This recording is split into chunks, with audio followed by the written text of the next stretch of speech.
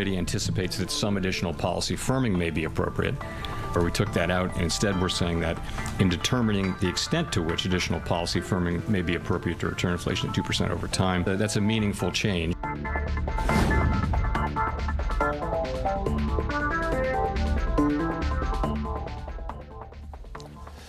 네, 이번엔 오늘부터 새로 시작하는 경제 자유 살롱 코너입니다. 매주 경제 얘기 재미있게 풀어보겠습니다. SBS 손승욱 기자 그리고 오늘은 서강대학교 경제학과 이윤수 교수 두 분 나오셨습니다. 어서 오십시오. 안녕하세요. 안녕하십니까. 자, 송 기자. 네. 우리 SBS 뉴스 채널에서 경제 자유 살롱이라는 유튜브 채널을 운영을 하죠. 네네네. 뭐 한 2년 정도 됐죠. 네, 그 전에는 네. 월스트리트였는데 네. 이름은 언제 바꿨어요? 아, 1년 정도 됐고요. 저희가 이제 어, 조금 더 경제적인 자유를 찾아보자 이런 취지에서 음. 예, 이름을 바꿔서 좀 더 다양한 인사이트를 주는 쪽으로 확대 개편을 하고 있고 계속 바꾸고 있습니다. 경제적인 자유를 찾자는 말은 뭐 바꿔 말하면 돈 좀 벌어보자 이런 얘기 아닌가요? 음, 네, 뭐 크게 다르지 않죠. 네, 시작부터. 송 기자가 네. 굉장히 그 그쪽의 이 지식이 정말 뛰어나다는 댓글을 제가 많이 본 것 같습니다. 유튜브 보면서. 네. 자 이윤수 교수님, 송 기자하고 같이 방송을 해보신 적은 없죠? 아, 예, 이게 그 공- 생방송으로 이렇게 해보는 건 되게 처음입니다. 네. 긴장이 많이 되네요. 예. 아이고 긴장하실 거 없어요. 뭐 전문가신데요. 뭐. 자 일단 미국 금리 인상 소식부터 짚어 보겠습니다. 자 연준이 지난밤에 기준금리를 0.25% 포인트 올렸습니다. 자 지난해 3월 이후에 10번 연속으로 금리 올려서 이제 5%를 올린 건데 2007년 이후에 최고 수준이죠. 이게 원래 예상됐던 거죠, 사실은 0.25% 정도로 올릴 거라는 건. 예. 예. 시장이 다 예상하고 있었던 내용입니다. 네. 사실. 예. 연준의 판단은 그럼 뭔가요? 일단은 그 지금까지 생- 이제 인플레이션을 잡기 위해서 이제 500 basis point, 그러니까 이자율을 5% 네. 포인트를 역사적으로 유례 없는 속도로 굉장히 빠르게 진행을 해왔는데요. 어 근데 문제는 이제 생각보다 인플레이션이 잘 안 잡힌다는 거죠. 음. 이제 생각보다 인플레이션 잘 안 잡힌다는 거고. 그런데 이제 와, 사실상 그 3월, 4월을 가는 기간 동안에 인플레 이제 지금보다 오히려 기준금리를 더 올릴 수도 있을 것이라는 예상이 있었는데 사실상 그게 바뀌면서 지금 한 두 달 전에 시장 예상했던 것보다는 오히려 이- 그 금리를 그 수준까지는 안 올린 겁니다. 아시다시피 그 SVB라는 실리콘밸리 은행과 네. 같은 그 지방 은행들의 파산이 있었고 그 네. 사실 그 사태가 뭐 어느 정도 좀 진정이 됐다라고 보는 사람도 있지만 사실은 아직까지는 지속이 되고 있는 사태라고 보고 있고요. 네. 그것으로 인해서 이제 신용 경색이 어느 정도 어, 진행이 되면서 대출이 어려워지고, 그러니까 금리가 좀 지금 예전에 예상했던 것만큼 올리지는 않더라도 이제 은행이 대출을 안 하기 때문에 네. 어떤 경제를 위축시키는 효과는 조금 이제 시장에 나타나고 있다고 보는 거죠. 그래서 이제 경제가 위축되는 효과가 앞으로 지속이 되고 그로 인해서 이제 인플레이션이 어느 정도 잡힐 것인가를 좀 두고 볼 뭐 여유가 있다고 생각하면 여유가 있다고 생각할 수도 있고요. 네. 그다음에 어제 나온 발언은 이제 충분히 올렸 이제 충분히 경제를 압박할 정도의 수준으로 물가 이제 인상률이 올, 이제 이자율이 올라왔다라고 보고 있기 때문에 지금부터는 이제 지금의 높은 이자율에서 아 그리고 이제 경, 굉장히 자금 사정이 어려워진 어떤 금융 경제 성, 여건 같은 것들이 이제 시장에 어떤 영향을 미칠 것인가, 노동 시장, 물가 수준에 어떤 영향을 미칠 것인가를 이제 데이터를 이제 자료를 보면서 앞으로 이제 매번 있을 그 회- 회의 때마다 자료를 보면서 이제 정책의 그 기조를 판단할 것이다라고 이제 생각을 하시면 될 것 같습니다. 네, 손수욱 기자. 네. 어제 미국 증시는 약간 떨어졌고 네. 금리 인상 소식에 오늘 우리 증시는 어떻게 반응하고 있나요? 뭐 증시 반응을 정확히 금리와 연결시켜서 말씀드리는 게 좀 조심스러운 그렇죠. 이유가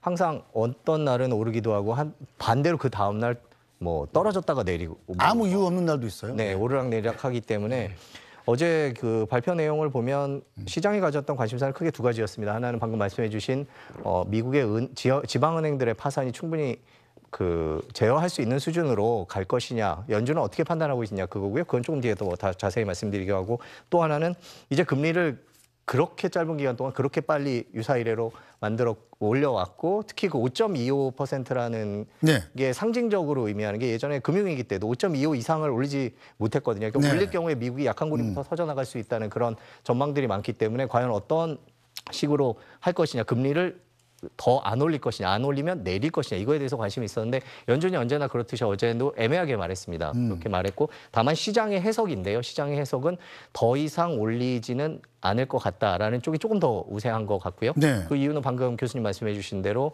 은행 문제도 있고요. 경제 문제도 있고요. 여러 가지 복합적인 문제가 있어서 더 올리기는 쉽지 않을 것 같다라고 얘기하고 특히 연준 발표문 중에 긴축에 관한 문구가 바뀌었습니다. 뭐 자세히 네. 뭐 살펴볼 건좀 아니지만 볼까요? 네. 예, 긴축이 화면에 띄워 주시죠. 예, 예. 적절할 것으로 보인다. 뭐 이런 것들 예상한다라는 것들이 이제 바뀌어서 네. 이제 그런 지난 문구들이 3월에 성명서하고 안에 오늘의 나오네요. 성명서. 예. 네. 그래서 요 문구가 이제 바뀌면서 어 이렇게 되면은 이제 연준이 더 이상 금리를 올리지 않아도 되겠다라고 판단한 거 아니야라는 해석이 가능한 겁니다. 네. 물론 더 금리를 더 올리지 않겠다라고 얘기하진 않았습니다. 네. 얘기하진 않았고요. 오히려 금리를 인하하지 않겠다라고 얘기를 했거든요. 네. 그러니까 금리 인하까지 내심 기대했던 어, 시장 입장에서는 어, 좀 약간 실망을 한 거죠. 그래서 오늘 외신들의 제목이 기대가 너무 과했나. 이런 식으로 나왔었거든요. 그런 식으로 반응을 해서 어제 미국 시장이 떨어지기는 했습니다만은 또 오늘 밤에 시작되는 미국 시장이 어떻게 전개될지는 진짜 가봐야 되는 거죠. 그러니까 저 일반적으로 외신의 반응은 시장이 연준의 어제 발표를 해석할 시간을 주자. 요 정도 선에서 머물러 있는 상태를 정리할 수 있죠. 자, 파월 의장이 경기 침체를 피할 수 있을 것이다 이렇게 얘기를 했단 말이에요. 이건 무슨 뜻입니까? 이게 예. 그 사실은 그 경제가 이제 뭐 soft landing이냐 hard landing이라는 네. 표현을 많이 써왔는데요. 이게 지금 이제 여러 가지 지표를 얘기했는데 가장 지금 관심 있게 보고 있는 지표가 노동시장 지표라고 네. 생각할 수 있습니다. 근데 이게 사실은 저희가 그 금융위기 2008년 7, 8년도에 금융위기를 벗어나면서 이자율을 언제 올릴까를 얘기할 때도 노동시장을 되게 주목을 했었거든요. 네. 이제 노동시장이 어떻게 회복할 것인가가 관심사였는데 지금은 이제 한 가지 뭐 임금이랑 인플레이션의 관계가 뭐 꼭 임금이 올라가서 물가가 오르는 것이다는 아니다라는 말을 하기는 했지만 지금 한 가지 특징적인 것이 아까 말씀드린 바와 같이 물가 그 이- 이자율 수준이 굉장히 빠르게 올라왔는데도 불구하고 이 정도면 노동시장이 망가져야 될 거라고 생각을 했는데 굉장히 견조하다라는 거죠. 네. 그러니까 왜 그럴까요? 아, 뭐 여러 가지 얘기들을 합니다. 일단은 뭐 트럼프 때 이제 그 이민 정책 같은 것 때문에 음. 이제 뭐 사실상 어떤 저임금 노동자들이 덜 유입된 것도 있고 그 다음에 이제 위대한 은퇴 번역을 굳이 하다면 그렇게 하는 건데 이제 상당히 많은 그 노동자들이 이제 특히 이제 나이 든 노동자들이 코로나를 겪으면서 이제 사실은 약간 고민을 했던 사람들이라고도 생각할 네. 수 있겠죠. 나더 뭐일 안 해도 되는데 계속 일을 해도, 해야 되나라고 하지만 뭐 그럼 일 안 하면 뭐 하겠어라고 생각했던 사람들이 노동시장을 떠났죠. 그리고 보조금으로 연명했던 사람들도 이제 아, 꼭 이렇게 살지 않아도 되겠구나 하는 것들도 생겼고 나름대로 이제 노동 시장의 변화를 거치면서 실질적으로 어떤 노동의 공급 이제 일할 사람들은 굉장히 많이 줄어든 반면에 네. 반면에 그 어떤 사람들이 그 노동 수요 이제 소비에 대한 여력은 사실 별로 줄지 않았습니다. 이게 코로나 때 억눌렸던 것들이 사실은 예전에는 이제 밖에서 물건 못 사 먹고 여행 못 가니까 물건을 많이 사면서 인플레이션에 대한 압력이 됐었는데 지금은 이제 물건을 많이 사지는 않더라도 나 예전에 못했던 여행이라든가 식당에 나가서 외식을 한다거나 하는 그 서비스 부분에 대한 지출이 늘어나면서 이제 서비스 부분에서는 오히려 노동자들이 더 많이 필요하게 된 거죠.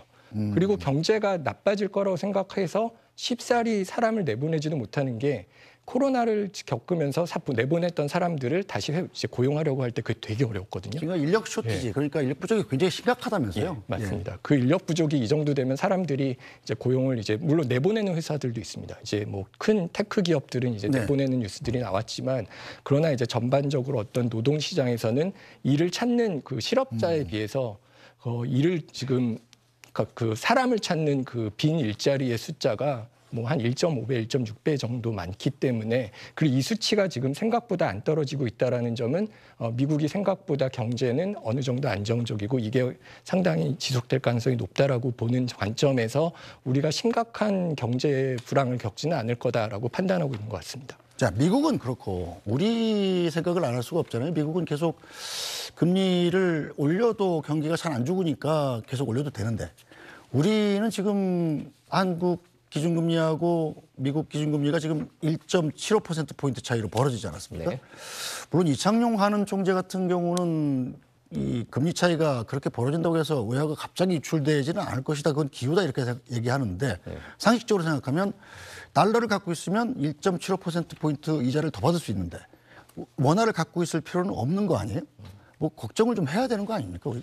예, 그 우리나라가 역사적으로 볼 때 이렇게 뒤집어졌던 경우가 이번이 처음은 아닙니다. 그리고 그 매번 자본 유출이 있지는 않았었고요. 뭐 그런 특징이 있고요.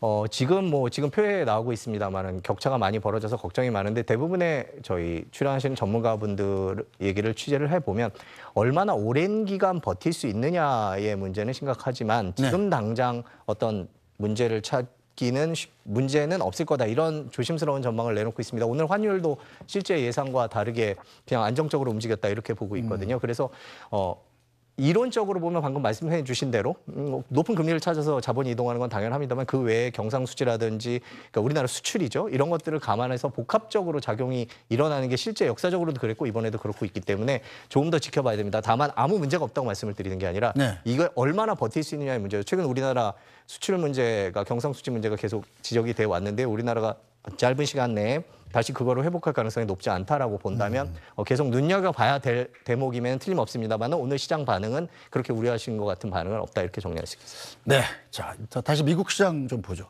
은행 파산의 음료가 없어졌다라고 JP 모건 CEO가 얘기를 했더라고요.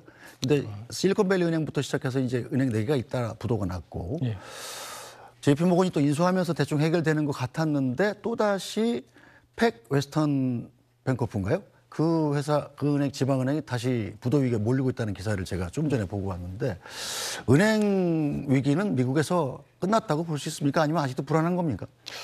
이게 지금 당장 급한 문제들은 어느 정도 해결이 됐다라고 사람들은 판단하고 있는 건데요. 이제 이제 이제 몇 개 은행이 망했고 그다음에 이제 최근에 이제 JP 모르간이 이제 은행 하나를 인수를 했고. 네. 근데 이게 사실은 저희가 지나왔던 금융 위기들을 살펴보면은요.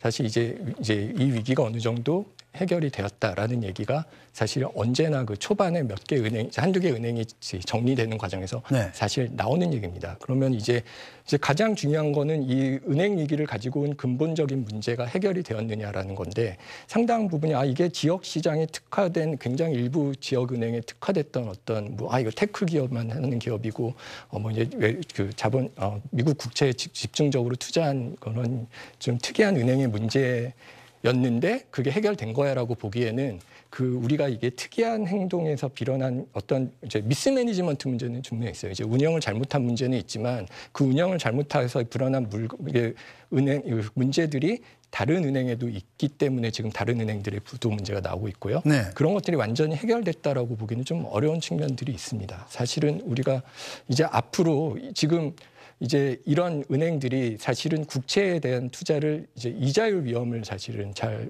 이제 해결을 잘이 못했었고 결, 결론적으로 가장 결정적인 원인은 금리를 너무 올렸기 때문에 파산하게 되는 거잖아요. 그렇죠. 예. 예, 그렇죠. 그런데도 불구하고 금리를 내릴 가능성은 별로 없는 것이고 예. 어, 어쨌든 연준이 금리를 추가로 올리는 데 그만큼 부담이 따르게 되는 거 아닙니까? 예. 네. 예, 추가로 올리긴 어렵고요. 그리고 이제 은행이 어렵기 때문에 음. 추가로 올리지 않아도 충분히 신용시장에는 압박이 가고 있다라고 판단한다고 보면 될 것 같습니다. 네, 손수욱 기자. 미국 경제가 즉각적으로 항상 우리 경제에 영향을 끼치잖아요. 네네. 2008년 금융위기 때 같은 데 보면 미국의 서브프라임 모기지 사태가 전 세계적인 금융위기를 불러와서 우리나라에도 영향을 미치고 그랬는데 미국의 은행 파산 사태가 만약에 또 확대될 경우에 우리나라에까지 어떤 영향이 있을지는 예상할 수 있나요? 아, 그거는 진짜 어떻다라고 딱 말씀드리기 힘든 것 중에 하나가 어, 미국이 최근에 방금 표에서 보셨습니다만은 역대 네 번의 큰 은행 파산 중에 세 번이 최근 두 달 사이에 일어났거든요. 네. 그 정도로 충격이 큰데 뭐 은행을 인수한 JP모건이라든지 연준이라든지 옐런 재무장관이라든지 큰 문제 없다 이렇게 얘기를 하고 있습니다. 물론 당국자 입장에서 문제 있다고 얘기할 수는 없겠죠. 그렇죠. 근데 이제 그런 상황으로 뭘그 해결되는 것처럼 그렇게 얘기를 하고 있고요. 그런데 그럼에도 불구하고 방금 말씀해 주셨지만 팩 웨스트라는 어, LA 은행이죠. 로스앤젤레스 은행이 어, 어제 장 이후에 갑자기 60% 폭락하면서 이게 네. 네 번째 파 요번에만 네 번째 파산하는 은행 아니냐 이런 보도가 나오고 있거든요. 그렇기 때문에 이런 일들이 계속 이어질 수 있다라고 생각하는 거고 이것 때문에 생길 수 있는 위험은 뭐 상업용 부동산부터 시작해서 미국 경기 침체가 더 심해지는 것까지 네. 여러 가지 얘기를 할 수 있기 때문에 우리나라에 어떤 영향을 미치냐라고 물어보신다면 세계 경기가 정말 힘들어지고 위기 상황이 올 경우에 수출로 먹고 사는 대한민국은 가뜩이나 수출이 안 되는 상황에서 네. 더 어려워질 수밖에 없는 상황이고요. 그리고 금리 문제에 있어서 한국은행이 방금 말씀해 주신 대로 자유롭지 않다면 우리나라 지난 1분기 GDP는 사실상 내수가 먹여 살렸거든요. 네. 그런데 그 내수를 풀어줄 수 있는 한국은행 운신회복이 없어진다 그러면 내수도 안 되고 수출도 안 되는 상황인 거거든요. 네. 어제 연준이 기자회견 이후에 뭐 주가나 여러 가지 원자재들 가격 흐름을 보면요. 우리가 흔히 아는 원유 유가는 떨어지고 금 가격은 올라가는 그런 상황이었거든요. 네. 그러니까 안전 자산을 찾고 경기는 둔화될 거라는 예상이 지배적이었던 거거든요. 그러니까 지금 세계 경제 분위기는 살얼음판을 살짝 집- 발벗고 가보고 있으면서 어떻게 될지를 지켜봐야 되는 상황이기 때문에 은행이 만일에 진짜 질문하신 대로 은행이 위기가 더 확산됐을 경우에 어떻게 될지는 아무도 얘기하기 힘들지 않을까 싶습니다. 자, 미국 경제 관련해서는 지금 미국이 국가 부채가 너무 커져 가지고 국가 부도 부채 상환 불능 상태에 빠질 수도 있다 이런 기사도 있던데 이건 어떻게 된 겁니까? 이게 그 사실은 이런 그 경험이 많고요. 네. 어제 그래서 이것에 대한 질문을 그 기자회견장에서도 굉장히 많이 나왔는데 네. 이거는 이제 국회가 파- 이제 해결할 문제다라고 이제 언급을 사실 많이 피했습니다. 근데 사실상 이게 만약에 정말 국- 그 간의 타협이 안 돼서 부도가 난다 그러면 그 파장은 엄청난 일이기 때문에 그런 사태가 나타나 이제 일어나지 않도록 이제 아마 어떤 식으로든 이제 합의를 할 겁니다. 이제 그리고 상당 부분 이게 어그 그 재정이 늘어난 부분은 그 지출에 관련돼서 의회가 이미 동의한 부분이 있기 때문에 어떤 지출에 대한 조정을 아마 하는 과정을 거칠 거고요. 다만 이런 일이 앞으로 일어날 거라고는 기대나 그리고 이제 국가 부채가 실제로 이로 인해서 더 늘어나게 된다면 이런 것들은 오히려 앞으로 인플레이션에 대해서도 영향을 안, 안 좋게 영향을 미칠 수 있고 그리고 이제 물가 상승에도 좀 압력을 미칠 수 있는 요인이 될 수는 있습니다. 자, 이 제롬 파월 의장도 그렇고 우리 이창용 하는 총재도 그렇고 저 가- 궁금한 게 뭐냐면 물가 상승률 목표가 항상 2%잖아요. 근데 지금 현재 물가 상승률 보면 뭐 4%, 5%, 6% 이렇게 가잖아요. 그런데 2%가 될 때까지 금리를 뭐 내릴 수는 없다 이렇게 주장을 하고 있는데 이게 가능한 일입니까? 그거 왜 2%입니까? 아, 사실은 그 2%가 예전부터 계속 나왔고 네. 그리고 실제로 제가 그 금융위기 전에 연준에서 일할 때 2% 타겟을 맞추다 보니 자꾸 이게 그 디플레이션에 대한 어떤 물가 네. 상승률이 급격하게 마이너스로 돌아서는 이제 디플레이션에 대한 위기가 너무 자주 오는 거 아니냐. 네. 그 당시에 2003, 4년에도 있었고 2007, 8년에도 있었거든요. 그 2%에 대한 인플레이션 타겟에 대한 얘기가 이거 너무 높은 거 아닌가라는 얘기가 있었음에도 불구하고 이것을 조정하는 것은 사실상 굉장히 금기 시대입니다. 왜 특히나? 왜냐하면 이제 아 이제 더 이상 2%를 안 하고 3%로 조정할 거야. 이제 네. 3% 가면은 이제 이자율 이제 더 이상 올, 이제 내리기 시작할 거야라는 시- 이제 판단을 시장에 주는 순간에 음, 시장은 이제 미리 반응을 해서 그렇죠. 이제 그 이제 3%의 인플레이션이라는 게 고착화가 될 것이고 음. 그런 경우에는 인플레이션을 잡기가 더 어려워집니다. 네. 그래서 일단은 연준은 어떻게든 2%까지 뭐 경제가 더 나빠져도 2%까지 물가가 떨어지는 것을 감내할 거고 그런 의미에서 1.5% 가는 것도 사실은 연준의 입장에서는 차라리 안전하다고 생각을 하겠죠. 과연 거기까지 갈 거냐? 그렇게 되지는 않겠지만 어쨌든 목표는 높게 잡고 본다. 뭐 예. 이런 말씀이신 것 같은데.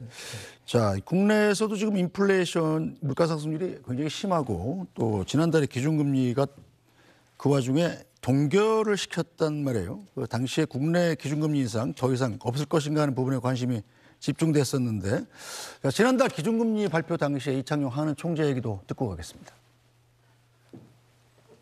오늘 금융통화위원회는 기준금리를 3.5%에서 유지하기로 결정하였습니다.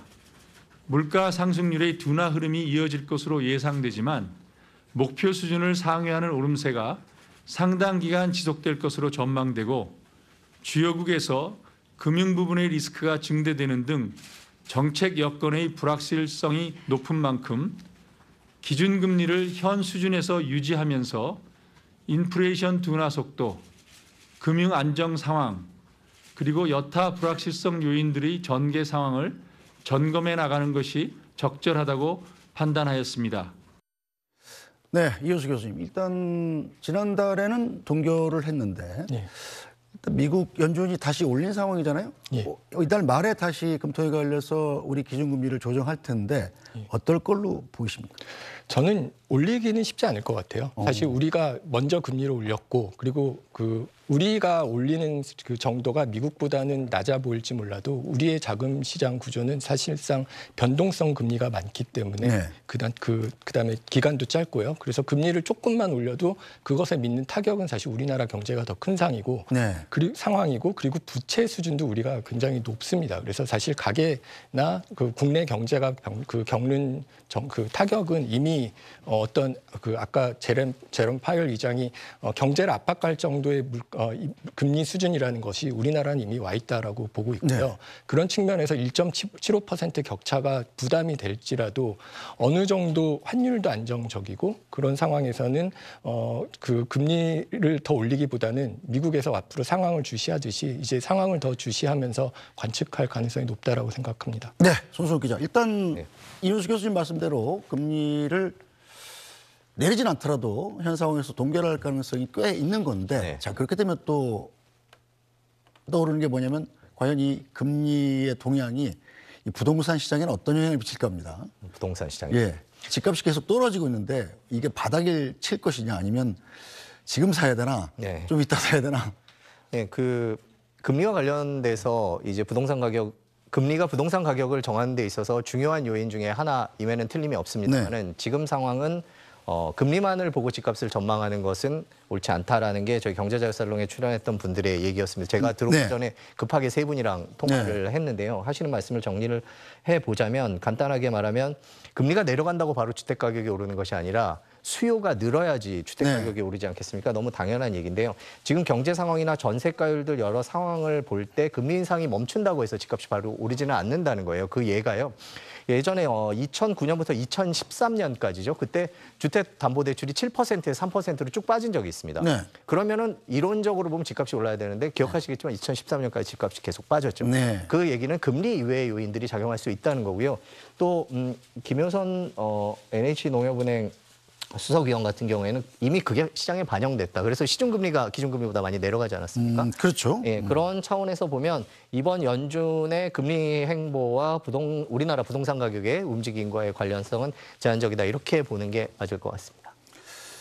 자, 미국도 이제 금리를 추가로 올리지 않을 수 있지만 제롬 파월 얘- 의장 얘기 들으면 아마 연말 이내에 좀 인하하지 않겠냐는 시장의 기대가 있지만 그거는 어떻게 보십니까? 연, 연말 이내에 이 미국이 금리를 인하할 가능성은 없을까요? 아, 저는 그건 좀 어렵다고 보는데요. 그 이유는 사실 시장이 생각하는 인플레이션의 기대와 연준이 생각하는 그 인플레이션 기대가 좀 다릅니다. 시장은 인플레이션 좀 금방 내려올 거라고 생각을 네. 하는데 사실 그 헤드라인이라고 부르는 어떤 딱 처음에 나오는 인플레이션 지표는 좀 떨어지고 있지만 연준이 관심 있게 보는 지표는 코어라고 부르는 이제 유류라든가 좀 음, 변동성이 큰 음식 같은 것들을 제외한 지표를 보는데 그거는 사실 떨어지지 않고 있을 뿐만 아니라 어떤 지표는 사실상 조금 올라간 것들도 있거든요. 그러니까 인플레이션이 시장이 생각하는 것보다 더 지속된다고 본다면 연준이 지금 보고 있는 시각은 인플레이션이 더 지속될 거고 그렇기 때문에 섣불리 어, 이자율을 낮추긴 어렵고 만약 이자율을 낮춘다면은 그건 경제가 굉장히 악화되는 거기 때문에 네. 이자율을 낮추는 게